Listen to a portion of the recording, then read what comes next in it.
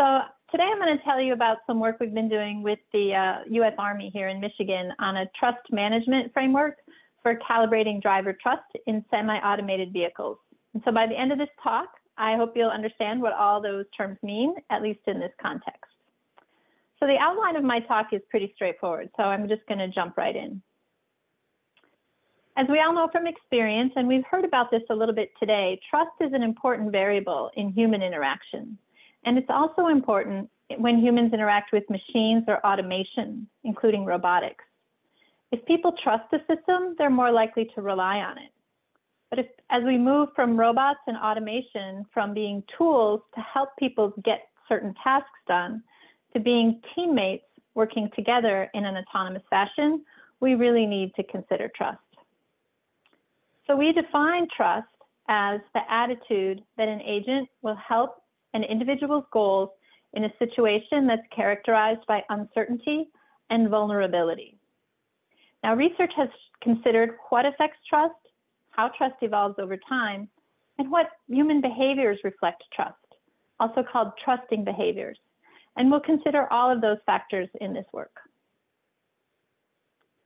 But we're going to focus not in the general case of trust in automation or trust in robotics, but the trust between drivers and automated vehicles. So you can think of an automated vehicle as a special type of robot that carries people. So there's uncertainty and vulnerability aspects when people are riding in AVs. As we've heard earlier today, there's great expectations for automated vehicles to improve transportation, but only if people trust them appropriately. So what do we mean by trusting appropriately? There's two main types of trust miscalibration that we'd like to avoid. The first is undertrust. If the driver doesn't trust the automation to do its job, they may be paying too much attention to the driving and not enough to any secondary task that they're doing, thereby disusing the automation. They're not taking advantage of the, of the capabilities of the automation that could allow the driver to take on other non-driving related tasks, such as watching movies, reading emails, taking a nap. You can imagine a million things you might want to do in your car besides drive. On the other hand, overtrust is also a problem. If the driver trusts the automation too much and doesn't pay enough attention to the driving situations because they're focusing on their other secondary tasks, problems can occur and very serious ones like accidents. So they're misusing the automation beyond its capabilities. So we want drivers to trust the automation enough so that they can take advantage of it, but not too much that they over rely on the automation and end up in a dangerous scenario. So our goal is to calibrate their trust. So let's move into the work. I'll start by telling you about the experimental setup that we have. You can see a picture of it here on the right. We simulate an SAE level three automated driving system.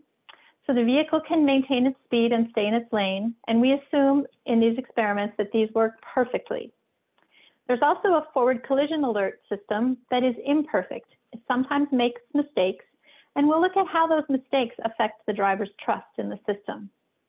There's also an emergency braking system when an obstacle gets too close. We assume that this also works perfectly, so we don't end up with any crashes, even in our simulation environment. On the bottom, you can see that the driver gets a heads up display that the vehicle is in the auto mode.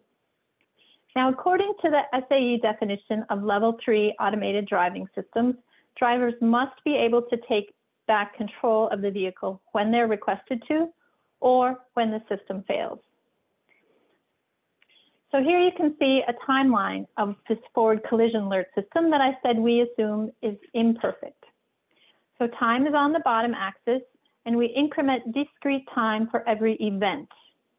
Whereas in the system, there's almost a minute between events, but it's not exactly the same amount of time between every event because that might be too predictive.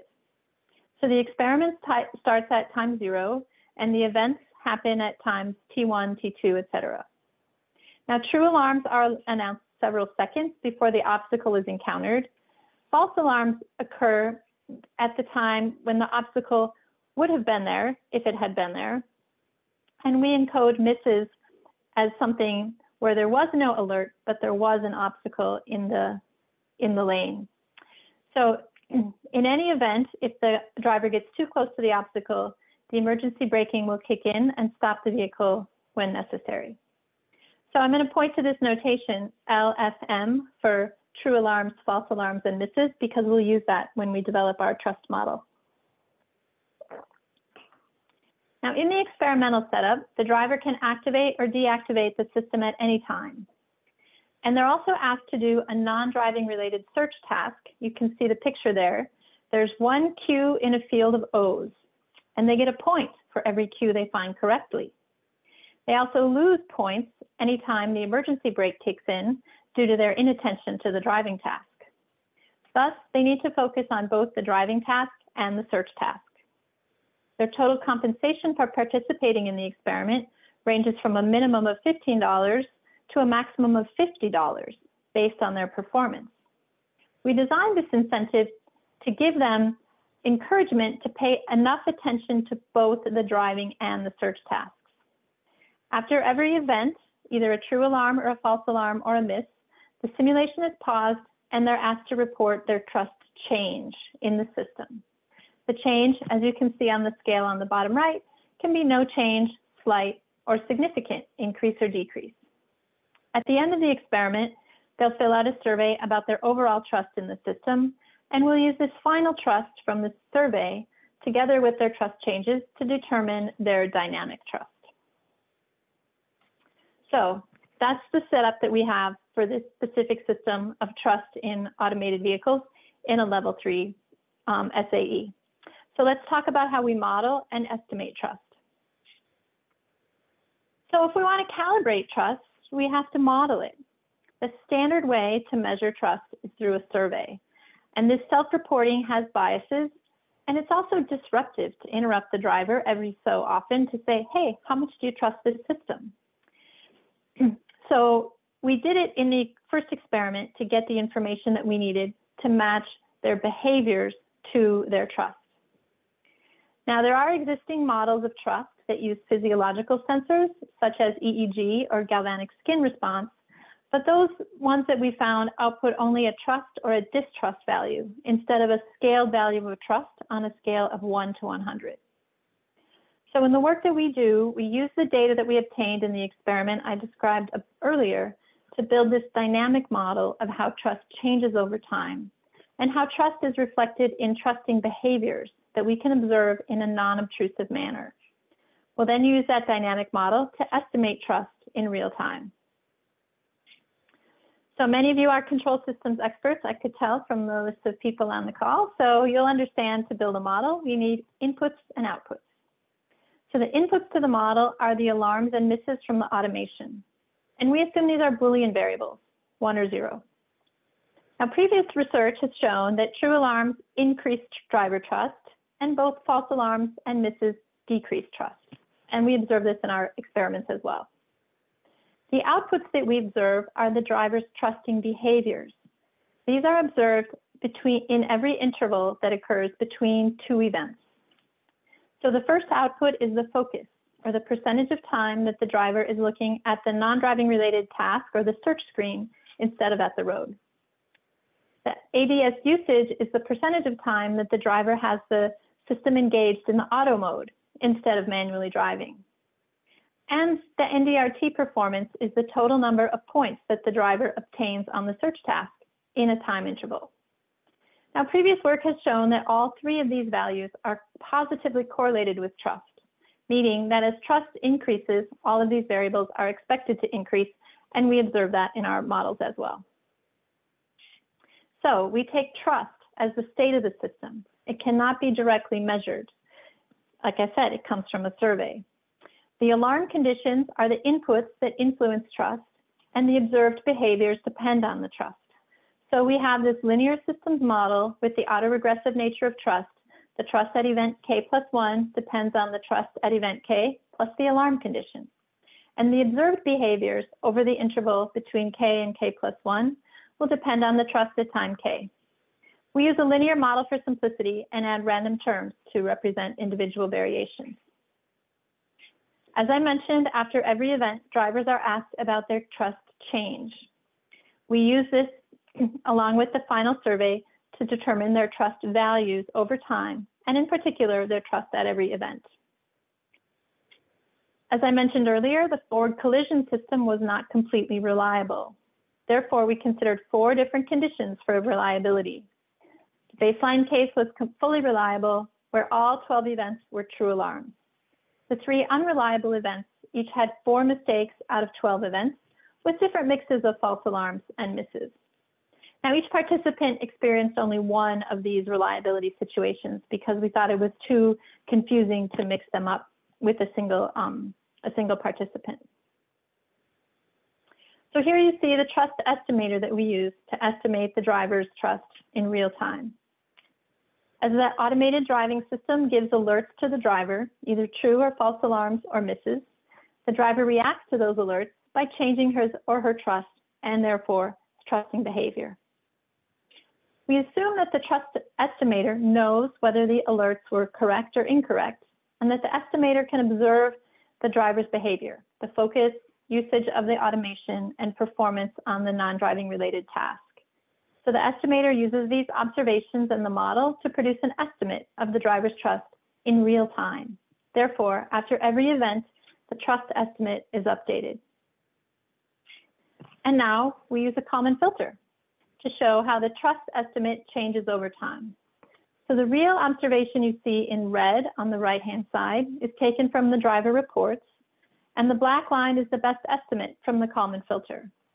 The blue shading shows the estimate's confidence from the Kalman filter, and we assume that the trust is constant between any two events.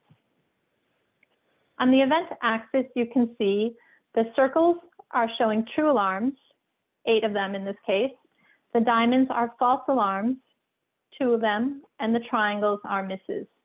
So the change in trust is affected by the events, the true alarms, false alarms, and misses, but it also depends on the prior behavior. Now here's another example where you can see that the estimate tracks the actual, although there is quite an offset. The true and estimated trusts are converging, and perhaps 12 events is not sufficient to really achieve convergence in this model. Or perhaps this subject just underreports their trust, since their behaviors are aligned with a higher trust level than they report. So this is the estimator that we're going to use for the calibration. And now that we can model and estimate trust, we're going to talk about how we can calibrate it. So the overall management framework is this combination of estimation plus calibration. And the main idea is to try to identify the states of overtrust and undertrust and influence the drivers to change their trust to come to a calibrated trust state. We assume that the automated driving system has different levels of capability in different environments. When the ADS is highly capable, such as on a clear day, a straight highway with very little traffic, the trust of the driver should be high. When the ADS has a much lower capability, such as a foggy or a rainy day, a curvy mountain road, or a dirt road, we would want the driver to have a lower trust in the ADS and spend more time monitoring the situation. So the, the driving system will attempt to influence the driver's trust through communication, either encouraging or discouraging the driver to pay attention to the road conditions. So a feedback block diagram is used for this calibrator. We don't call it control because we're not really trying to get the trust to an exact specific number, like it's not important that the trust be 67. It's more important that the trust be in the range for the capabilities of the automation.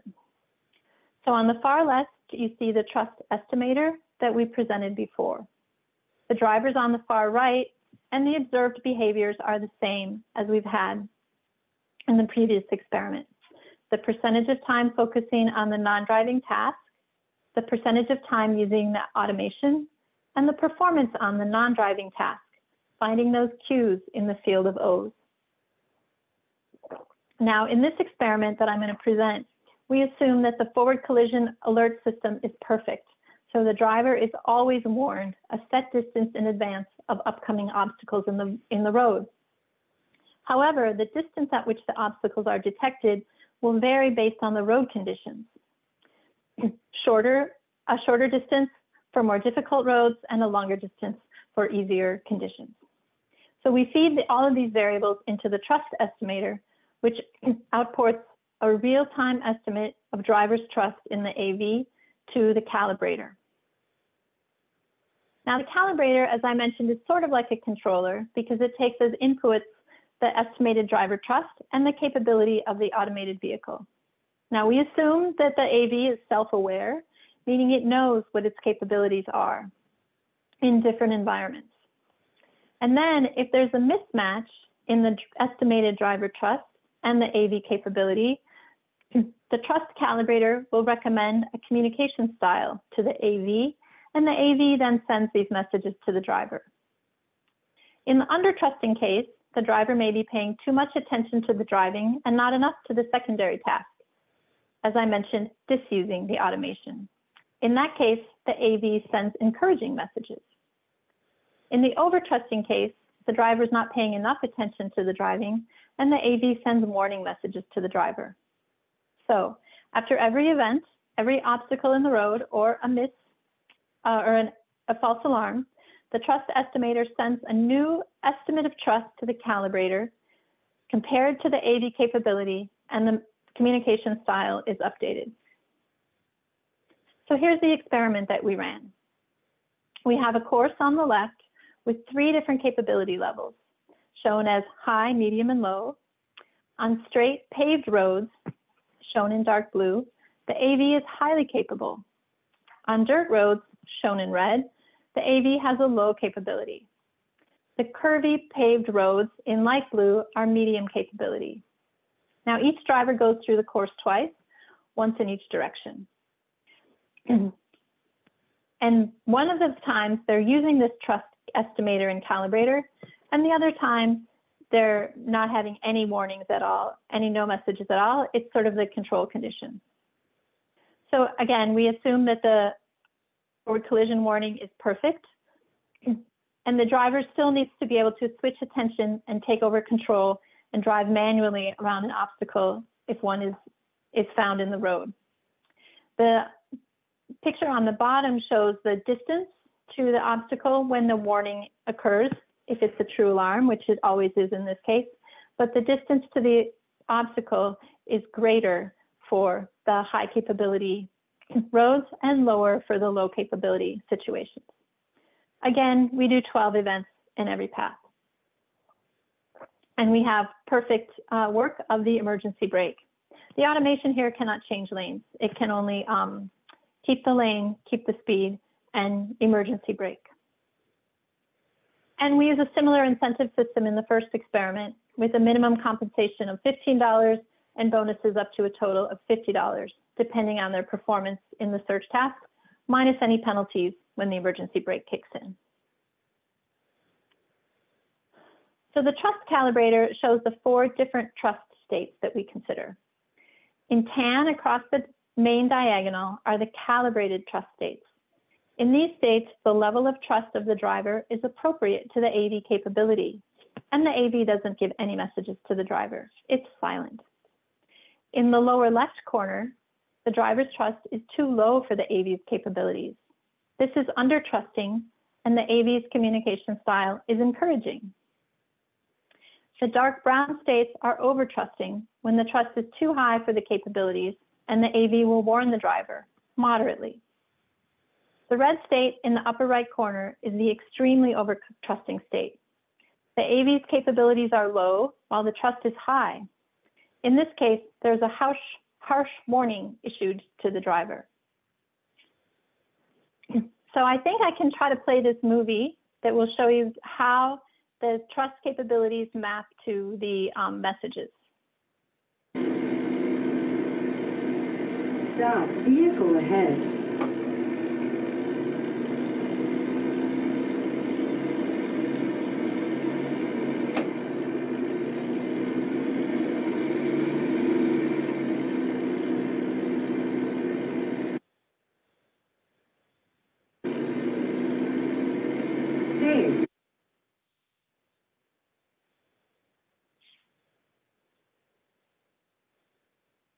Are you guys able to hear the audio? You audio? don't need to worry about driving. I will take care of it while you focus on Yeah, we finding the can, keys. Dawn.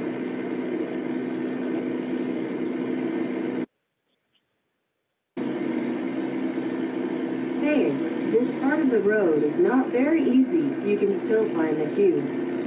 But please pay more attention to the road.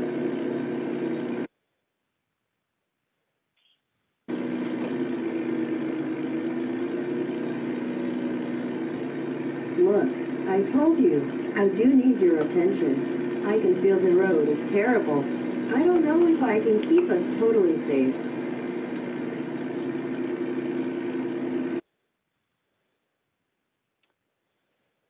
So I hope you were able to see those. These are the backup slides in case the uh, movie didn't work. And so here It are came the across well. statistical results. Great, thank you. So here are the statistical results of how the communication messages were able to change the driver's trust as we observed it. So we show the change in trust as observed from one interval to the next. You can, first of all, this is a human subject experiment. There's a lot of variation in the data. Each participant encountered 12 obstacles and 40 participants, so there's 480 events captured here. And we modeled trust on a 100 point scale. You can see that the encouraging message increased trust by about 17 points. When no message, was issued, trust increased by a little bit.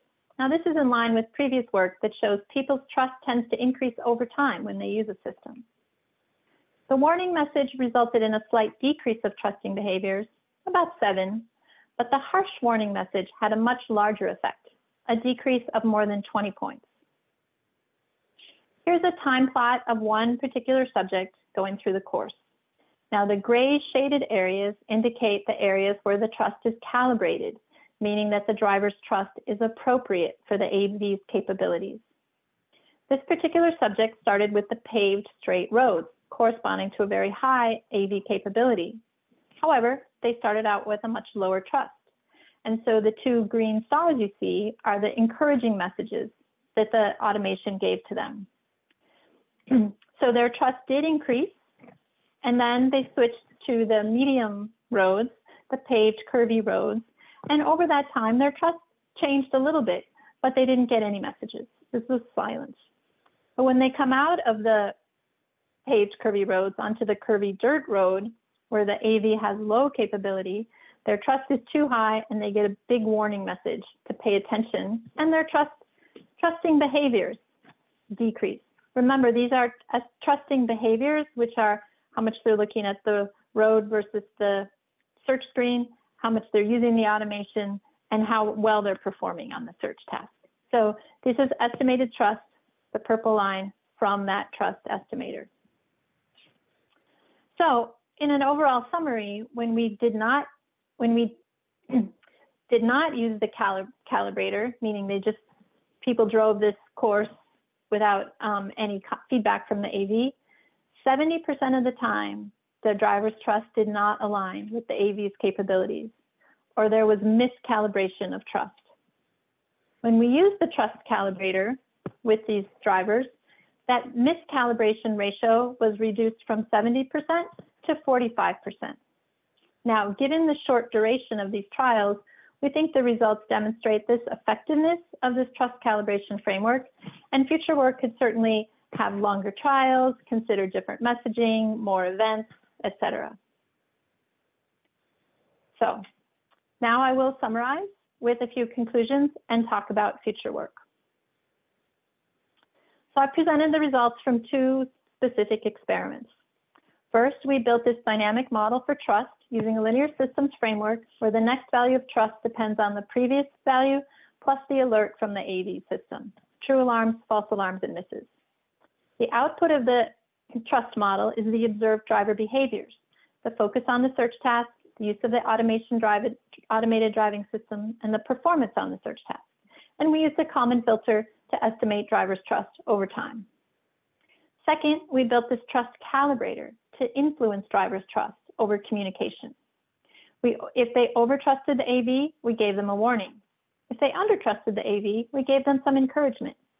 So this calibration through communication was effective in helping drivers trust come into alignment with the capabilities of the AV. So there are many potential avenues for future work. We used a very limited set of trusting behaviors from the driver. This could be expanded in many directions. I talked earlier about using physiological sensors such as heart rate and skin conductance. We tried to use sensors in our experiments that were as unobtrusive as possible, but more sensors can always give you better results. Another consideration is that our non-driving task was a search task, which requires the same visual processing as monitoring the road. Other tasks that require audio processing or other cognitive processes will be important to consider as people think about different types of driver AV interaction. Also, we focused on the driving environment with one human in one vehicle. There are many more types of environments and tasks where humans and autonomous systems will want to team up and collaborate. We hope that these results we've presented in this simple case can help lay the groundwork for human automation trust in more diverse environments. And finally, all of this work, and indeed much of the existing work, focuses on how much the human trusts the automation. In all of our experiments, the human has the control to turn the autonomy on or off at any given time. There are interesting questions to consider about how and when the automation should trust the human. Are there circumstances that would require the autonomy to take over from the human, not allow the human to turn it off? What safety considerations are important?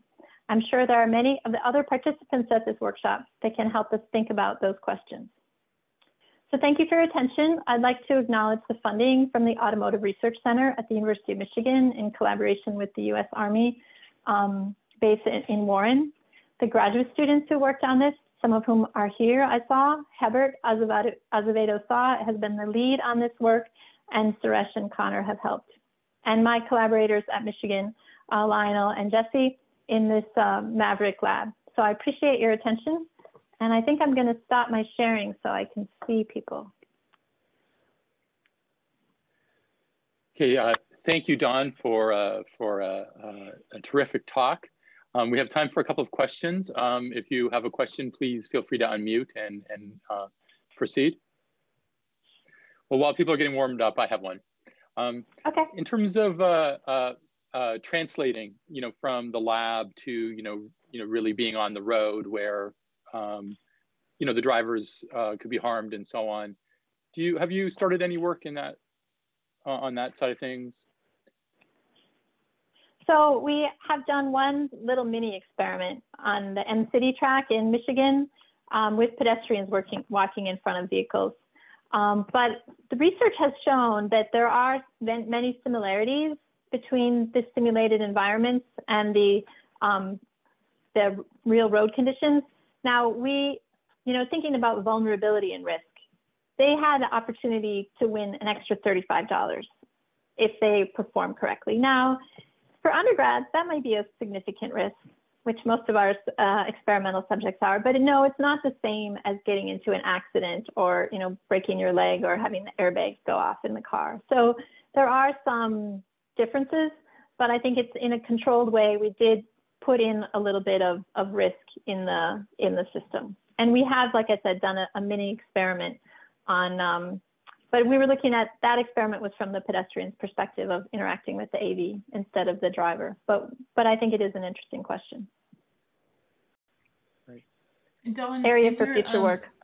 After after the um, your experimental subjects did this, did you show them the um, the model and the like the sort of information that um, how the trust model perceived their actions? And did you ask them how that did like were they able to sort of go back and say or I, surveys as you said are obtrusive but was there a way to kind of get their feedback on the model no, we didn't go through that with them. Um, so even though most of the students were, you know, from the university, I don't think necessarily most of them were engineering students and trying to understand what that what that might be. Um, that's an interesting thing to think about for a future set of experiments, but I don't believe we went through that with the uh, the subjects.